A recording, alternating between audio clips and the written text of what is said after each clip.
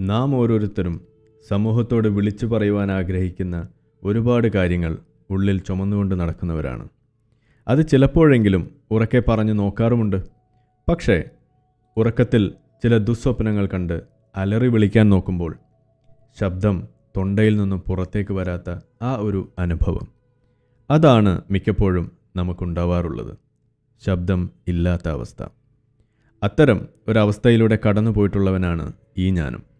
അതുകൊണ്ട് തന്നെ സമാന അനുഭവങ്ങളുള്ള ആളുകൾക്ക് അവർക്ക് പങ്കുവെക്കുവാനുള്ള കാര്യങ്ങൾ അത് സമൂഹത്തിലേക്ക് എത്തിക്കുന്നതിനു വേണ്ടി എന്നാലാവുന്ന രീതിയിൽ അവർക്കുള്ള ശബ്ദമാകാനാണ് ഞാൻ ശ്രമിച്ചുകൊണ്ടിരിക്കുന്നത്. ഇവിടെ ഒരു സുഹൃത്ത് എനിക്കൊരു കുറിപ്പ് അയച്ചു തന്നിരിക്കുകയാണ്. അതൊന്ന് ഫേസ്ബുക്കിൽ പോസ്റ്റ് ചെയ്യണം എന്നാണ് എന്നോട് ആവശ്യപ്പെട്ടത്. എന്നാൽ അത് വായിച്ചപ്പോൾ അത് പോരാ. അതൊരു ശബ്ദമായി തന്നെ ആളുകളിലേക്ക് എത്തിക്കേണ്ടതാണ് എന്ന് എനിക്ക് തോന്നി.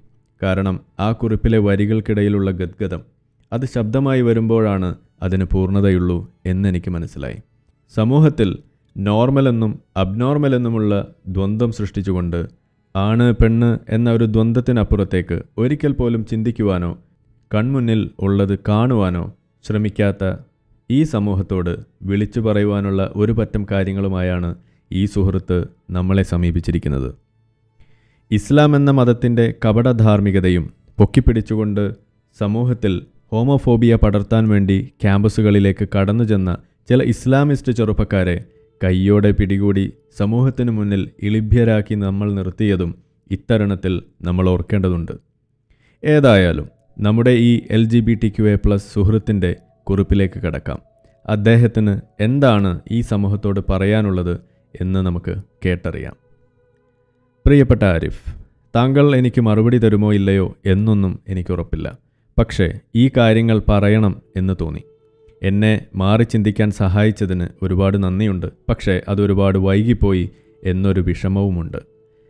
സ്വവർഗാനുരാഗിയായി ജീവിക്കുക എന്നത് നമ്മുടെ സമൂഹത്തിൽ എത്രത്തോളം ബുദ്ധിമുട്ടാണ് എന്ന് അനുഭവിക്കുന്നവർക്ക് മാത്രമേ അറിയൂ. അതും മതം എന്നത് തലയിൽ കയറ്റി നടക്കുന്നവരുടെ ഇടയിൽ ആണെങ്കിൽ പറയുകയും വേണ്ട. അറിയാൻ തുടങ്ങുന്ന കാലം മുതലേ ആണുങ്ങളോട് താല്പര്യം തോന്നി തുടങ്ങിയത് ഒരു അത്ഭുതമായൊന്നും എനിക്ക് തോന്നിയിരുന്നില്ല. കാരണം ഞാൻ വിചാരിച്ചിരുന്നത് എല്ലാവരും ഇതുപോലെ ആയിരിക്കും എന്നാണ്. കുറച്ചുകൂടി വലുതായപ്പോഴാണ് മനസ്സിലായത് ഇത് എല്ലാവർക്കും ഉള്ളതല്ല മറിച്ച് ഇത് എന്തോ ഒരു രോഗമാണ് എന്ന്. അപ്പോഴത്തെ ചിന്താഗതി അനുസരിച്ച് അതൊരു രോഗമാണ് എന്നാണ് ഞാൻ വിചാരിച്ചിരുന്നത്.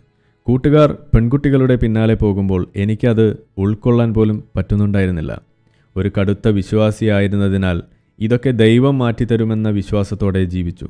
പല ആണിനോടും ക്രഷ് തോന്നിയിരുന്നുവെങ്കിലും ഒരാളുമായി അടുക്കുവാനോ ബന്ധപ്പെടാനോ പോയില്ല. അത് തെറ്റാണ് എന്ന് മനസ്സിനെ പറഞ്ഞ് പഠിപ്പിച്ചുകൊണ്ടിരുന്നു. വൺ സൈഡ് പ്രണയം തോന്നി ഒരാളുടെ പിറകെ ഒരുപാട് പോയി. അയാൾ അറിയാതെ അയാളെ പ്രണയിച്ചു. എന്നോട് താല്പര്യമില്ല എന്നറിഞ്ഞിട്ടും. എനിക്ക് മറ്റുള്ളവരെ പോലെ ജീവിക്കാൻ പറ്റില്ല എന്ന് മനസ്സിലാക്കി ആത്മഹത്യ ചെയ്യണം എന്നുവരെ ചിന്തിച്ച നിമിഷങ്ങൾ. ഒടുവിൽ എല്ലാം ശരിയാവും എന്ന് വിചാരിച്ച് ജീവിക്കാം എന്ന് തന്നെ തീരുമാനിച്ചു. ഒരുപാട് മതപുസ്തകങ്ങൾ വീഡിയോസ് ഇതൊക്കെ കാണുവാൻ തുടങ്ങി. സ്വർഗരതി തെറ്റാണ് എന്നും നരകമാണ് ലഭിക്കാൻ പോകുന്നത് എന്നും അറിഞ്ഞ് പേടിച്ച് ജീവിക്കുവാൻ ശ്രമിച്ചു. എന്തിനാണ് എന്നെ ഇതുപോലെ സൃഷ്ടിച്ചത് ദൈവമേ എന്ന് ചോദിക്കാത്ത ദിവസങ്ങളില്ലായിരുന്നു. ചിലർ പറയുന്നത് കേട്ടു ചെറുപ്പത്തിൽ ഇതുപോലുള്ള അനുഭവമുണ്ടെങ്കിൽ വലുതാകുമ്പോൾ നമ്മൾ അതുപോലെയൊക്കെ ആകുമെന്ന്. ചെറുപ്പത്തിൽ പോയിട്ട് വലുതായപ്പോൾ പോലും ഒരാളുമായും ബന്ധപ്പെട്ടിട്ടില്ല. എന്നതുകൊണ്ട് ആ വാദം തെറ്റാണ് എന്ന് മനസ്സിലായി. അടുത്ത വാദം അതൊരു മാനസിക രോഗം എന്നതായിരുന്നു. അതും വിശ്വസിച്ച് ഒരു ഡോക്ടറെയും കണ്ടു. അപ്പോഴാണ് മനസ്സിലായത് ഇതൊരു മാനസിക രോഗമല്ല എന്ന്. അടുത്തതാണ് എന്റെ ജീവിതം താറുമാറാക്കിയ വാദം. എല്ലാം ദൈവത്തിന്റെ പരീക്ഷണമാണ്. അതിൽ നമ്മൾ വിജയിച്ചാൽ സ്വർഗമാണ് കിട്ടാൻ പോകുന്നത്. അതും വിശ്വസിച്ച് ഞാൻ ജീവിക്കുവാൻ തുടങ്ങി. കല്യാണപ്രായമായപ്പോഴേക്കും കല്യാണവും കഴിച്ചു.